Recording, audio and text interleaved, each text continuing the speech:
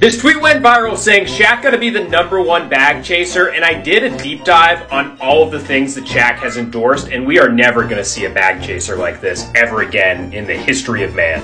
I mean, for starters here, Shaquille O'Neal's pregnancy test, over 90% accurate, which, you know, it's not 100%, but it's way better than his free throw percentage, and includes two free Shaq stickers. Babe, I'm pregnant. Are you sure? Yes, I used Shaquille O'Neal's pregnancy test and it's over 90% accurate. Shaq brand laser hair removal.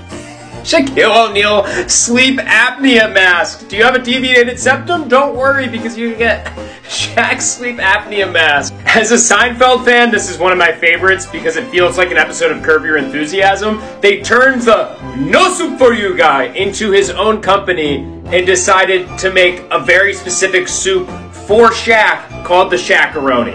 And then we've got Mr. Big, a Shaq snack.